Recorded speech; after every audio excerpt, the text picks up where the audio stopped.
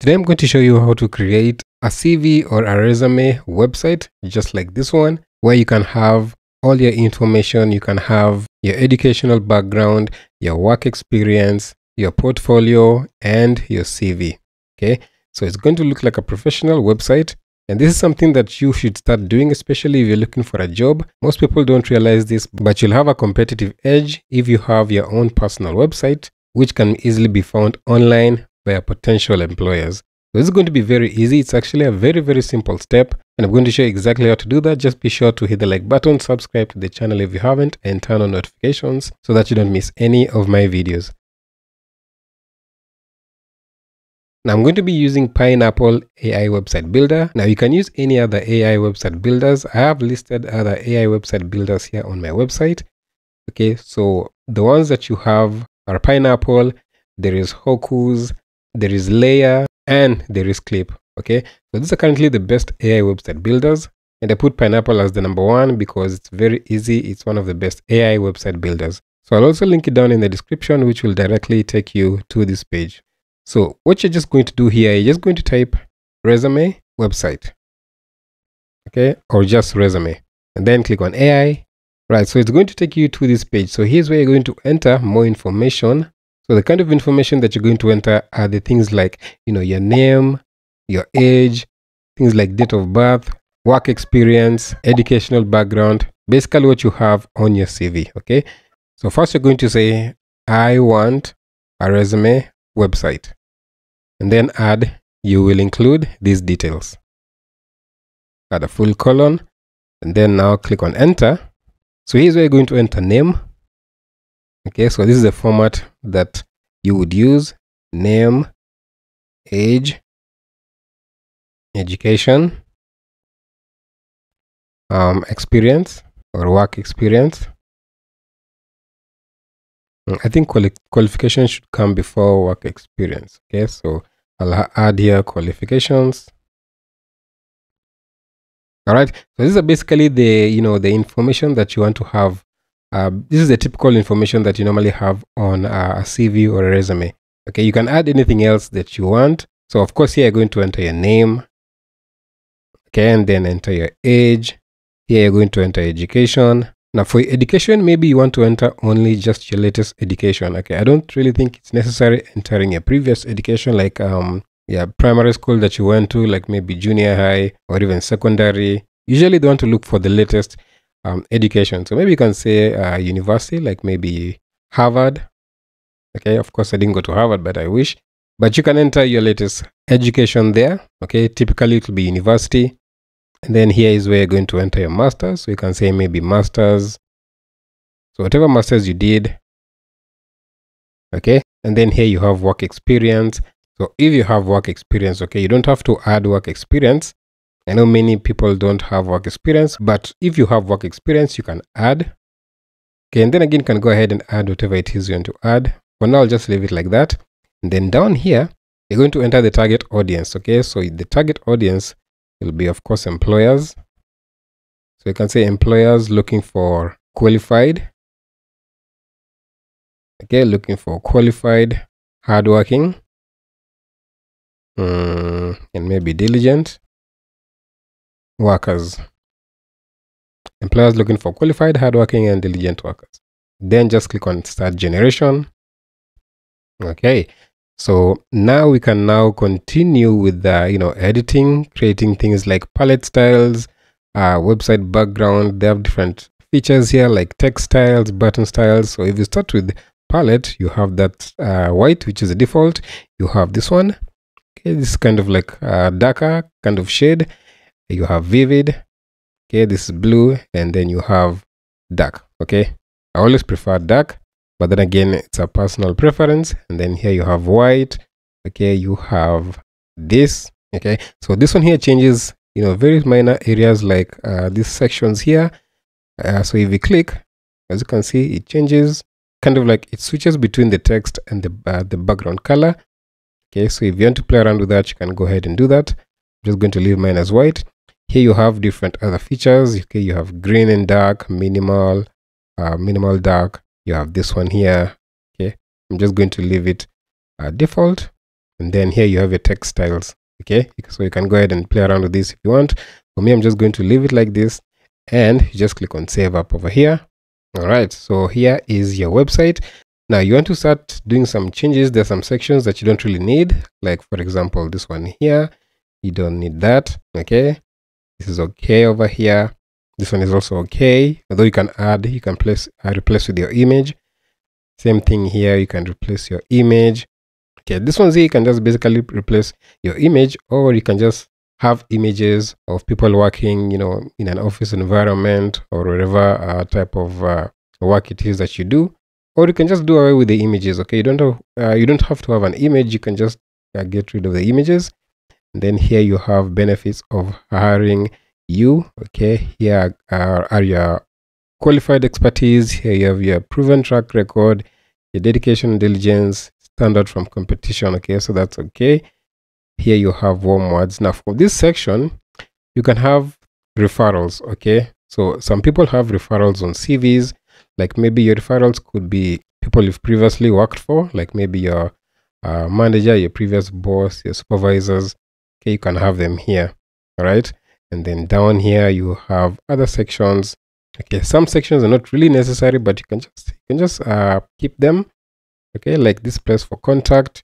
Uh, you don't really need to have a contact button. For me personally i would remove this and then i would have um, i would enter my contacts okay? So like for here this section would be perfect for contacts all right so you can enter your you know your phone number your email okay not really not really a phone number but your email um, your social platforms your social handles instagram twitter facebook threads you know those ones. Uh, they're already even here. Okay so you can have your all your handles here. So what i would do i would remove this section. Okay so just like this. Just like that.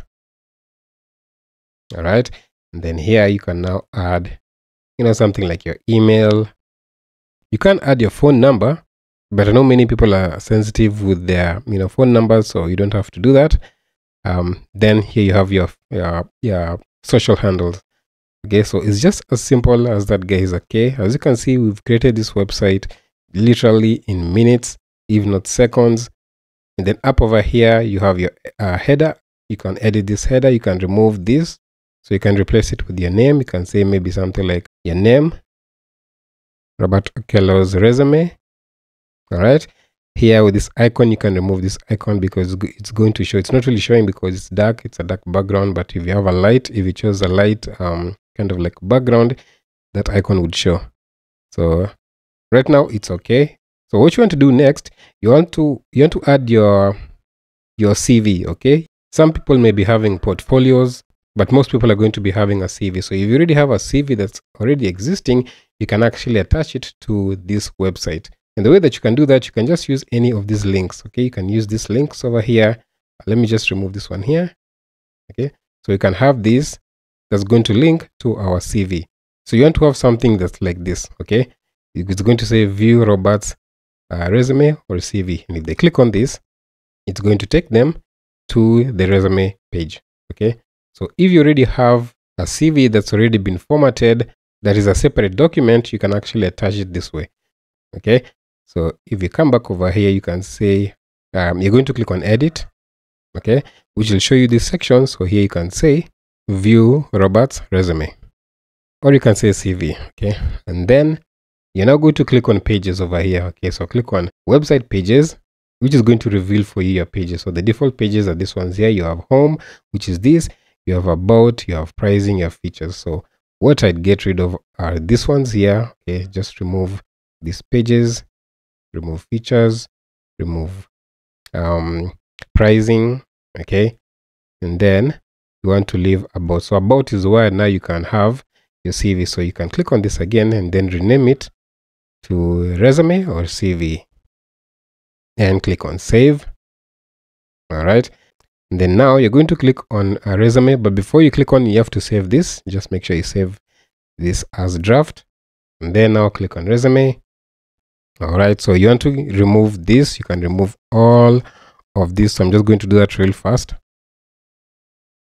Okay so now you want to leave maybe just one section like this. And then here you would say your resume or CV again. And then just remove uh, the rest of this text just like that. And then what you want to do now is to add an image okay? You want to add an image. So what you can do click on add section. Now you can use any over here. I'm just going to click on hero and then click on product okay? So now i'm going to remove this. So now what you want to do is to place the image of your cv here. So you can do this in two ways. If you have your cv in a pdf document you don't really need to create another page like we've done here you can just attach it to your pdf okay? I'm going to show you how to do that right after i show you how to upload using an image okay? So just select this image over here and then click on edit okay? So here's where you're going to add your image. So just click on add click on upload. So if you have your cv in a uh, image format you're going to upload it here from your computer okay? Otherwise i'm just going to use this one of mine. Uh, not really mine i just got it from the internet okay? So you're going to have your cv like this. Now this is on an image format okay? And then once you're done just click on save draft all right? Once you're done you're going to click on pages again okay? And then click on uh, resume click on the dots and then click on copy slug.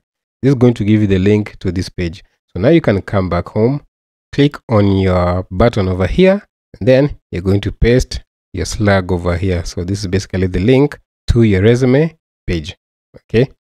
Now once you're done just click on save draft. Okay. Now click on publish. Click on publish live page. Now to look at your website just click on publish again.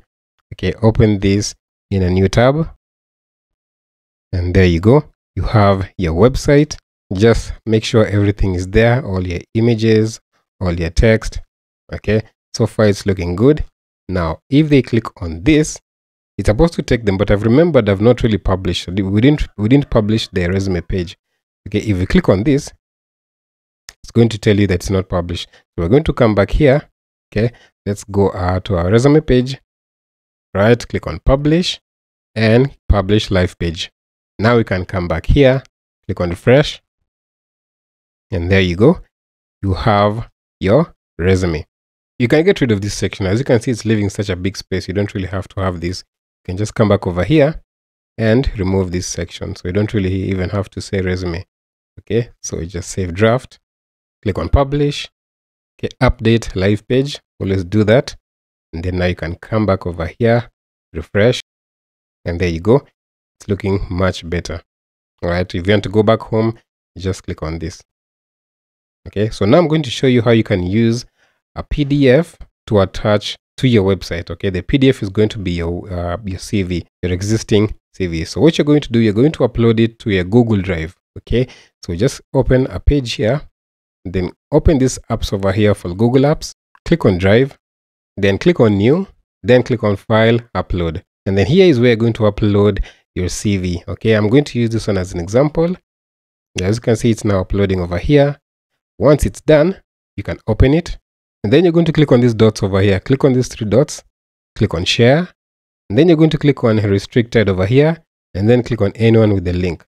So this is going to allow anyone with the link to view your cv so just click on copy link. Click on done. Now you can come back over here to your website. Uh, go back home. Okay. And then you're going to click on your link over here. All right. Click on this globe. Actually i'm going to remove this first. Okay. Make sure it's not uh it's not showing anything and then click on globe and then paste your link from google drive okay now you're going to click on save draft click on publish um update live page so now if we come back home okay let's refresh this Okay, refresh it about two to three times. Sometimes it takes a while before it updates, or just give it a few seconds before you refresh. And then now they're going to scroll down here. As you can see, before we click, if you hover, you can see down there it says drive.google.com. That means it's already linked to your CV. Okay, so you can click on that. And as you can see, it takes you to the PDF format.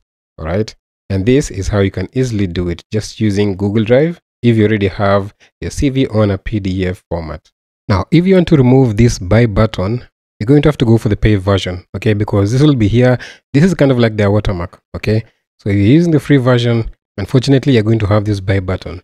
And if they click on this buy button, it takes them to the pricing, okay? So if you really want to remove that buy button you're going to have to go for the basic plan which is actually cheap. It's very affordable. This is just $12 a month. So if you're really serious with your uh, you know with your cv website or your resume website you should be looking at the basic plan okay with this you're even going to get a limited pages. You're going to get a custom domain which is also something that's very important. This is something i forgot to mention because if you don't have a custom domain as you can see if you go back this is going to be the link to your website. Okay this is not friendly for search engines for google for bing firefox. It's not uh, search friendly at all. This is not going to be easily found on the internet even when your employers are looking for it. Maybe when you're googling your name it won't be easy for them to come across this. And even if they come across this it won't look really professional okay? So you really want to have a domain that's on your name okay? Like the way i have my website here as you can see this is robertokello.com so you want to have something very similar all right? So that is it. That's going to do it for this video. This is how you can easily create a cv or a resume website using ai website builders. Again you can see the ai website builders here from our website.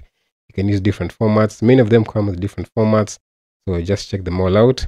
Otherwise that's gonna do it for this video. Thanks for watching. See you guys on the next one